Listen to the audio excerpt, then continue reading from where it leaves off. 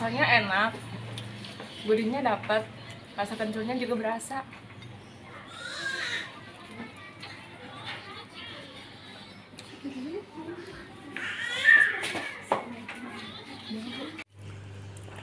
Halo assalamualaikum selamat pagi.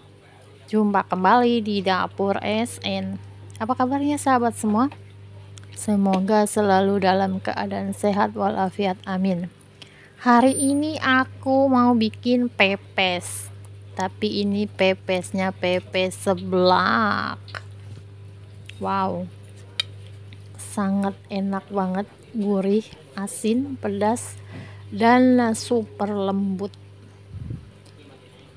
Mau tahu bahan-bahannya, bumbunya apa? Mari kita simak video berikutnya. Ini dia bumbunya di sini sudah saya siapkan.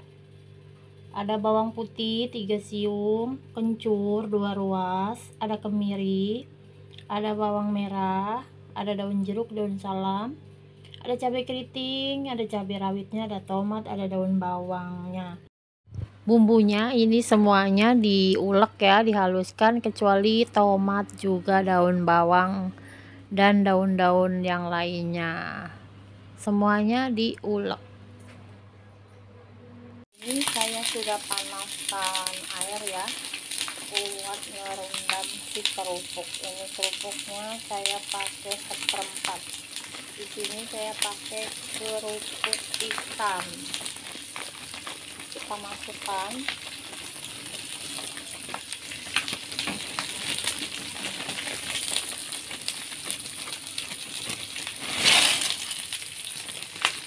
kita masukkan semua ya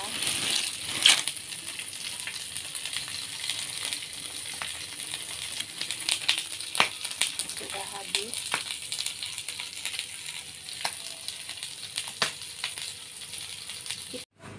kita tunggu beberapa saat kemudian sampai kerupuknya sedikit melunak ya. Setelah itu baru ditiriskan. Ini siap untuk kita tiriskan. Ini sudah lunak ya. Siap untuk kita tiriskan. Sudah saya siapkan bumbunya ini dia sudah saya siap-siapkan. Kita masukkan ini kerupuknya sudah ditiriskan.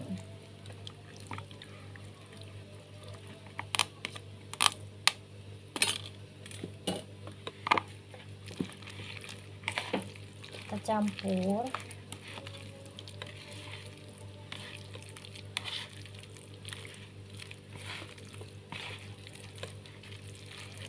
tambahkan bumbu ini kaldu bubuk pakai satu saset ya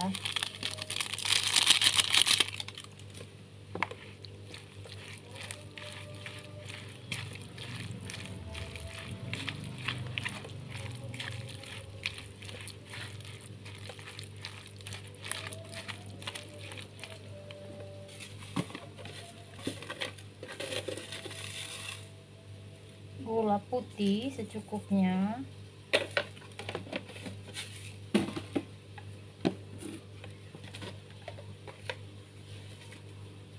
Garam secukupnya.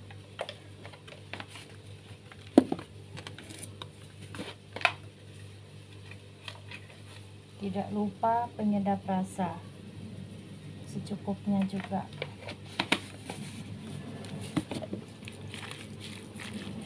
kita aduk supaya rata. Ini sudah tercium ya wangi.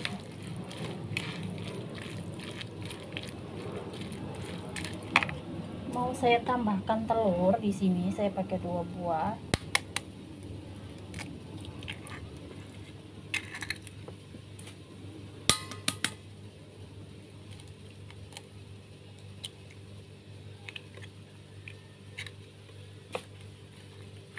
supaya lebih endul marak endul tak kendul kendul.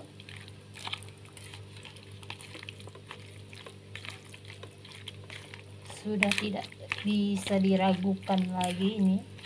Sudah terlihat tampak lezat. Kita masukkan daun bawang juga tomat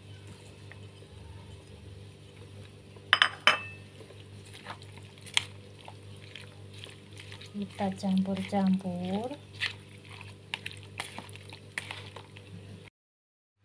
Kita aduk sampai rata ya. Sampai merata dengan bumbu-bumbunya. Baru kita bungkus dengan daun pisang. Dibungkus dengan daun pisang. Kita kasih daun salam juga daun jeruk ya di sini supaya wangi. Kita tuang.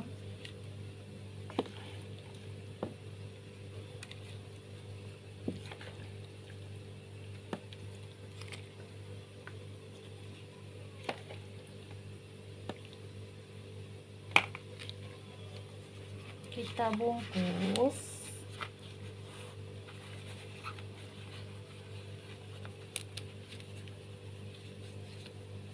jangan sampai keluar ya.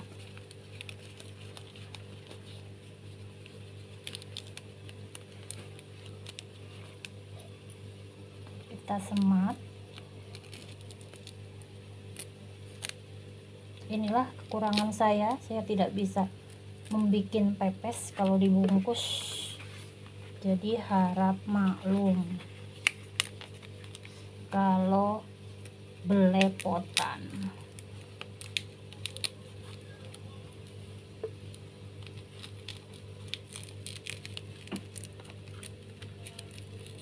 seperti ini kurang lebih bungkusannya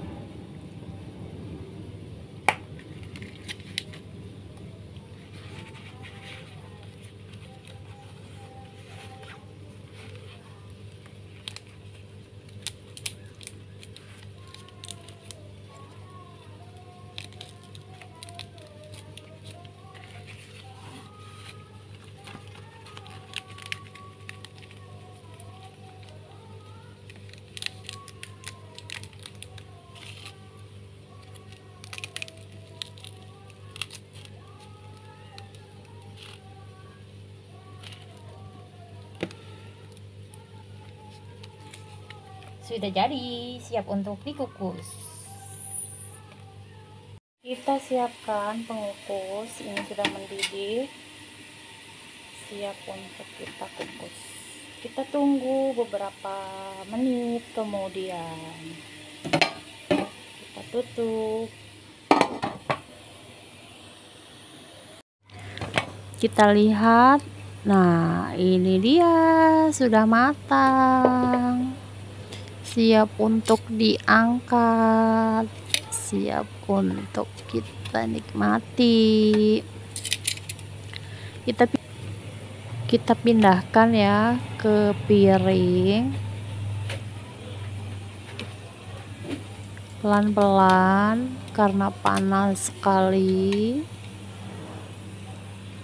Ya siap untuk kita buka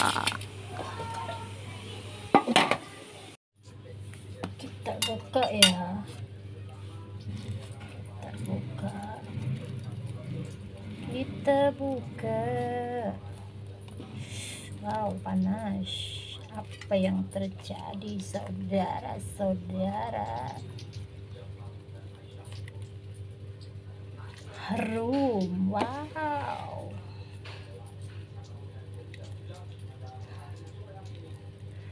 Ternyata endul tak kendul kendul ini super super yummy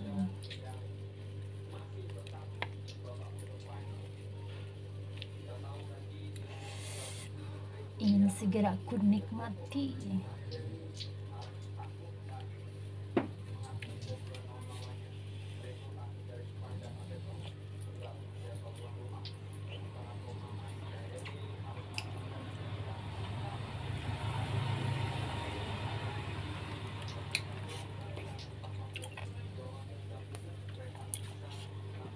Mantap ini dia hasilnya. PP seblak ala dapur SN bikinnya mudah banget dan bahan-bahannya gampang enak banget. Ini rekomen banget buat sahabat semua yang pingin nyobain. Eh, buat dijual juga boleh. Enak banget ini pastinya lembut rasanya berasa banget dan cocok nih buat makan atau buat cemilan. Buat sahabat semua terima kasih banyak. Sukses selalu untuk kita semuanya. Assalamualaikum.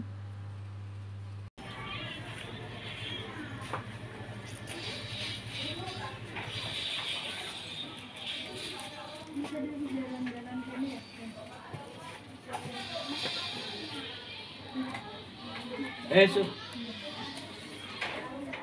kenal.